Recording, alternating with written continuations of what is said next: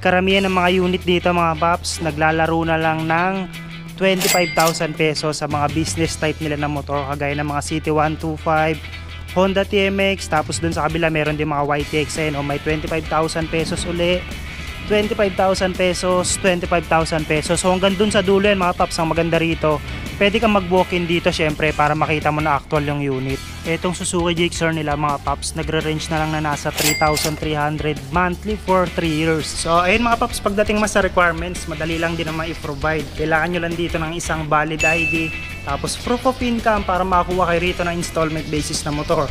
And kung sakaling wala rito yung unit na hinahanap nyo or kung medyo nalalayuan kayo dito sa place, meron pa po silang iba't ibang location ng warehouse nila. Meron po sila sa Pampanga, Bulacan, tapos ito nga Cavite, meron din sila sa Pangasinan, sa Isabela, sa Cebu. So yung ibang warehouse nila na vlog na po natin yan. Pwede po kayo mag-visit dyan, tapos pwede rin po kayo mag-apply through installment. So ang gagawin nyo lang, i-fill up nyo lang yung online application nila, iniwan ko na dyan sa comment section, tapos i-submit mo. And if ever naman na pumasa ka sa CI, kailangan mo pong pumunta sa warehouse kung saan mo in-apply yung unit since hindi po sila nagde-deliver ng motor. So bago natin simulan itong vlog natin dito, ipapakita ko lang sa inyo kung gaano karaming unit yung meron dito. Eh no, halos punong-puno po yung bodega nila kaya sigurado may mapipili ka rito. Tapos ang maganda rito, pwede mong libutin yan, pwede mong isa-isayin syempre para makita mo kung saan swak yung budget mo. Ito halos lahat din ng klase ng scooter meron sila rito. May mga MIUI 125, MIUS 40, Honda Beat, tsaka Honda Click. Ang maganda rito kung napapansin nyo sa mga down payment ng motor nila rito, karamihan dito nasa 500 pesos down payment pero maganda nga rito pagka bumili kayo ng voucher nila through Lazada pwedeng maging 3 pesos na lang yung magiging down payment mo. So yung binili mong voucher sa Country Funders, yun yung pwede mong gamitin dito para sa down payment na 499 pesos or 500 pesos. Almost makakatipid ka rin ng nasa 497 pesos once na bumili ka ng voucher nila through Lazada. So ayan, 499 pesos, magiging 3 pesos na lang yan. And then pagdating sa monthly installment, meron sila ritong tag 25 tapos rebate ng 400 pesos. So magiging more or less nasa 2199 na lang siya. So dito meron uli sila rito ang MIUI 125. Ito naman nasa 25 yung monthly. Sa down payment, ganun pa rin halos sa mga ganitong unit kasi mga 125cc. Normally nasa 499 pesos down payment lang yan. Pero gawin mo na lang yung sinabi natin. Mag-avail ka lang ng voucher nila through Lazada para kahit papano makatipid ka sa down payment. So dito meron sila rito ang tag 2599 yung monthly installment. Ito rin color yellow, ganun din. So sa MIUI 125 nila, halos pares lang din eh. Nasa 2599 yung monthly installment na naka-display dito. Yung ibang unit lang, walang nakalagay na label ha. Pero available din siya for installment basis. So ang gagawin mo lang, pipicturean nyo lang itong pangalan ng dating may-ari. Tapos i-inquire nyo dun sa kanila para ma-check nila sa system nila kung magkano yung monthly installment tsaka down payment. So ito mga MIUI 125 ulit. 2599 monthly installment, ganun rin to 2599 sa down payment, ganun pa rin mga paps, almost 500 pesos. So hanggang dun sa dulo ha. Pipili na lang kayo dito pagka pumunta kayo dito sa warehouse nila. Meron sila rito mga Honda RS na 125 Fi. Alam ko mga ano na rin to eh. Matitipid na rin sila sa gasolina. Kaya lang dito mga wala tong nakalagay na label. I-inquire nyo sa kanila para ma-check nila dun sa system nila kung magkano yung down payment tsaka monthly installment. Ayan yung mga itsura ng Honda RS na 125 F5 version na meron sila rito. So dito sa side na to, ito may nakita tayo dito ang RS 125 na may presyo. Ito, dating 4.5 yung monthly, rebate ng 500, kaya naging 4,091 na lang. Tapos sa down payment nga, ayun yung maganda rito, ganun pa rin siya, naka 499 pesos. Pero pwede siyang maging 3 pesos na lang kapag bumili ka ng voucher nila through Lazada. Dito may mga Raider R150 pa rito kaya lang yung iba rito may mga nakalagay na Nokia pero nasa sa inyo naman kung gusto nyong bilhin yan. I-inquire nyo lang sa kanila ha. And then dito bandang dulo marami silang Honda Wave na 110R. Ayan no.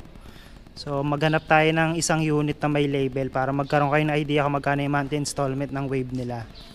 So eto meron silang Wave dito. Etong isa na to nasa 3.1 yung monthly. Rebate ng 500 kaya naging 2,600 na lang monthly. Sa down payment, nasa 499 pesos. Pero ganun pa rin yan. Pwede siyang maging 3 pesos only kapag ka bumili ka ng voucher sa Lazada. Pagpasensyaan nyo lang, inulit-ulit na lang natin yung voucher nila through Lazada. Okay din yan para mag-grab nyo yung opportunity kasi sayang din madi-discount nyo. So, ayan mga paps, yung unit dito sa may pang-apat na layer. Meron pa rito mga Suzuki Smash. Sumilip din tayo dyan. Tignan natin kung magkano yung presyohan yan. So, dito naman tayo mga paps sa mga Suzuki Smash. 150 na carb type. Ito isang hilera rin. Halos hanggang dulo. Puro Suzuki Smash. So, mag-sample tayo ng pricing ng Smash nila. Itong isa na to mga paps. So, dating tuto yung monthly niya. Pero may rebate na 350 pesos. Kaya naging 1,899 na lang siya. Tapos sa down payment, itong maganda rito talaga. Ganun pa rin. 499 pesos pero pwede siyang maging 3 pesos kapag ka bumili ka ng voucher sa Lazada. Ayan yung itsura ng Suzuki Smash nila. Ayan yung itsura niya. So maganda nga rito. Pwede mong kilatisin yan ha. Siyempre kasi kapag ka lumabas na ng warehouse nila, automatic pa wala na pong warranty yan. Kaya siyempre, i-check mo ng maigi or much better magsama ka ng mekaniko para ma-check na maigi yung unit bago ilabas ha. So ayan yung mga pagpipilian nyo sa Suzuki Smash na 110 carb type. Yung iba nga lang talaga, wala talagang presyo mga paps eh, ha? wala tayong magagawa. So pinaka-purpose nitong video syempre para magkaroon lang kayo ng information kung ano nung unit yung meron dito. Tsaka syempre mabigyan ko na rin kayo ng konting information kung magkano yung bentahan nila. Ayan, meron ditong Smash. Itong isa na to, nasa 3K halos yung monthly niya. Maganda pa yung kulay niya. Oh.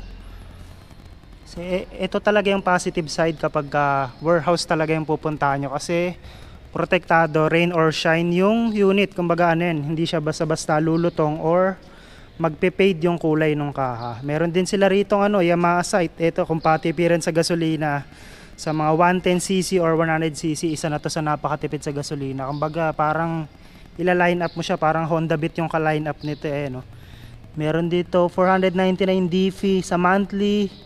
Nasa 26 yung monthly niya, rebate ng 500. Payable siya ng 36 months, color yellow. Ayan yung itsuro. Yamaha sight na 115 FI version na rin yan.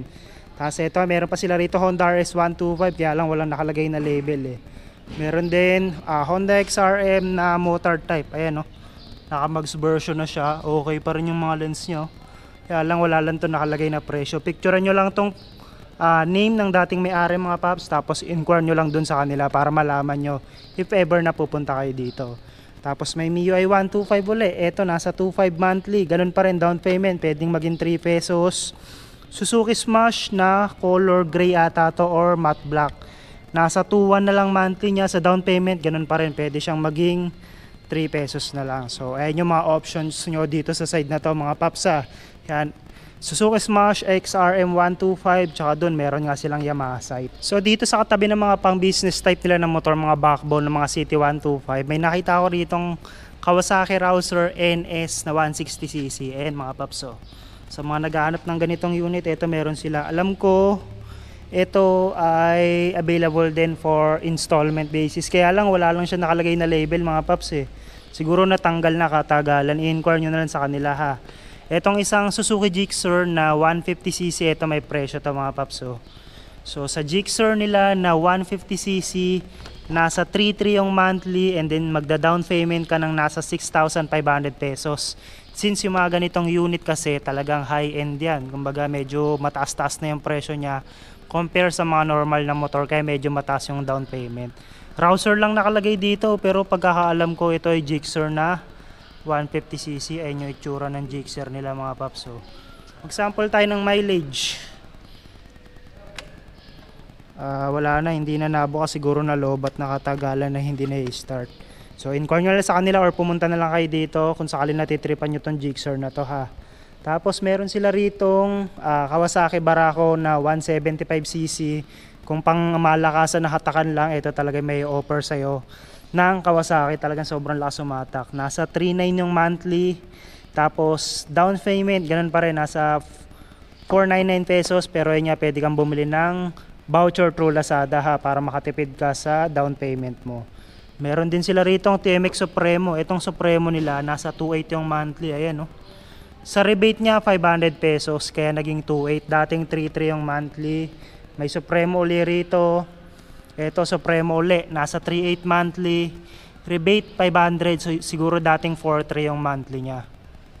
Tapos dito, Yamaha YTX na 125. nasa 1.9 lang yung monthly. So karamihan dito sa mga YTX nila na 125, nagre-range na lang sa ganun yan, 1941 yung monthly. Ayan oh. 1941. Tapos down payment, ganun pa rin, nasa 499 pesos down payment lang. Hanggang dito sa dulo, ito, meron pa rin siyang 4 installment. Sa City 125, ang installment nila, normally nagre-range ng nasa 1,591 payable for 3 years. So default payment term nito ay 3 years mga paps. Ito rin, oh, 1,591 na lang month installment. So ayun, balik tayo dito sa mga pantra nila, mga City 125, City 100 na puro tag 25,000 pesos. Ayun, oh, City 125. Ito, ganun pa rin to. 25,000 pa rin. Ayan mga paps. All in yan mga paps ha. No hidden charges daw. Kumbaga yan lang ilalabas mo para maiwi mo na tong motor na to. Ayan yung itsura ng City 125 nila. Tapos ito, City 125 uli. 25,000. 25,000 uli. 25,000. Ganun pa rin hanggang dun sa dulo. Lahat yan mga paps. Tag 25,000. Ipapakita ko lang sa inyo yung itsura ng mga Badyan nila na City 125 na tag 25,000. So ayan, 25,000 din. Ito rin, 25,000, 25, 25. So pagdating naman sa ORCR nito, usually daw yung process niya nasa 1 to 2 months may bibigay na nila sa'yo yung original ORCR ng motor. Pero habang wala yan, bibigyan naman nila kayo ng Xerox copy syempre para magamit mo yung motor. So hanggang dun sa dulo mga paps, tag 25,000. So ayun, dito sa pinakaharap, ito may mga unit pa rin dito na may price. Baka nandito na yung hinahanap nyo swak sa budget nyo. Ito meron silang Suzuki Smash. Ganun pa rin, na 115 carb type. Nasa 2.4 ang monthly. Rebate ng 400. So itong 400 na rebate, nakalist na to ha. Dating naging dating 2.8 less ng 400 kaya naging 2.4 na lang. Sa down payment, ganun pa rin. Normally nasa 499 pero yun nga pwede siyang maging 3 pesos only. Sa MIUI 125 nila, meron sila rito tag 2.8 monthly. Down payment, ganun pa rin ha color matte blue. Wala nga lang siyang front fender pero tingin ko ito okay pa to. Ayun, maganda pa yung kulay ng mga lens niya. Front fender lang talaga wala. Pero itong gulong niya aftermarket makapal pa naman, safe pa rin. Honda Beat, ayan, meron sila rito tag 37, meron ding tag 36. Para nakita ko doon kanina, meron doon tag 26. Tapos dito merong matte green. Ito naman is 40, tag 34 monthly. Sa down payment, ganun pa rin, nasa 499. Pero ayun nga, pwede siyang bumaba kung mag-avail ka ng voucher nila through Lazada. Tapos may click pa rito, color combination ng black and blue. Ayan o, medyo basag nga lang yung kanyang signal light lens sa may bandang kanan. Tapos ito, click na 150, kaya lang not available siguro meron ng approved applicant para dito sa unit na to. Tapos dito may mga Suzuki Smash pa rin. Color red, ito may lima ka pang option sa Smash. This one, nasa 2249 yung monthly niya okay pa rin yung kulay niya. Maraming alan talagang sticker. Pero nasa sa'yo naman to kung sakaling ma-approve ka rito, pwede mong tanggalin yan. Ito, ganun pa rin. Nasa 2249 pa rin. Mga drum brake version tong mga to. Tapos 2249 uli. Itong isa. Tapos itong pinakadulo, ganun pa rin. Nasa 2249. Rebated na to ng ano, 500 pesos sa. So parang nasa 25 or 2.6 yung monthly niya, may rebate na 350 kaya naging 2249. So, ayan yung mga options nyo pagdating dito sa mga Suzuki Smash dito sa may bandang harapan. So ayun na nga mga paps, na-check na natin itong mga available reps motorcycle dito sa Country Pander Second Hand Motorcycle dito sa Dasmariñas, Cavite kung naghahanap kayo ng mga second hand na motor hopefully nakatulong sa inyo itong video natin para mahanap mo yung hinahanap mong unit. And then nga pala mga paps ha, kung bago ka lang dito sa ating Facebook page tsaka YouTube channel, please don't forget to click like, subscribe, and then syempre follow mo na rin to keep you updated para sa mga susunod na repo serie vlog natin. Bila mga bossing, thank you for watching.